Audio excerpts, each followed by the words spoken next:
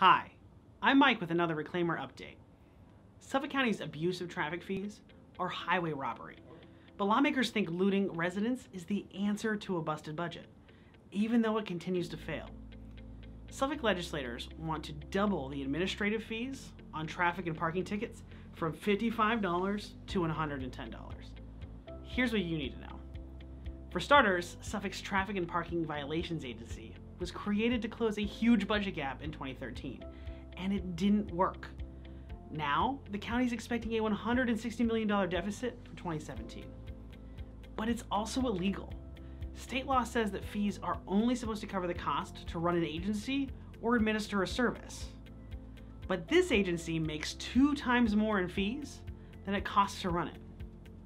And the agency is abusing its power by forcing drivers to pay this administrative fee even if their charges were dismissed.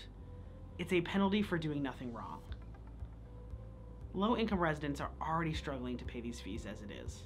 Imagine what would happen if legislators double them. This is the definition of insanity. Lawmakers are doing the same thing over and over again, but expecting a different result. Either they have lost their minds entirely, or they're pretending not to know better, so they don't have to face the fact that raising fees time and time again has made budgeting only worse. This patchwork approach to the budget will rip off taxpayers without making a dent in the county's debt.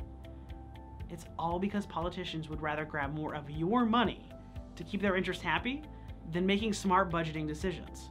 Thank you for watching, sharing, and staying informed, because it's up to all of us to reclaim New York.